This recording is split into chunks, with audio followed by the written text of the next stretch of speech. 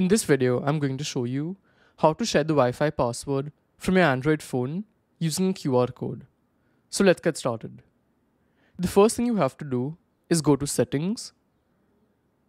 And in settings, you'll have to go to Wi-Fi settings. So in Samsung, it's called connections, which is here. Or else you can just search for Wi-Fi on top. After that, Wi-Fi. And here, you'll have to make sure you're connected to the Wi-Fi whose password you'll want to share. So here, I'm connected to this Wi-Fi. So now, I'll have to click on the settings icon, which is next to the Wi-Fi. And based on the phone you have, the settings may look a bit different, but you will find this option.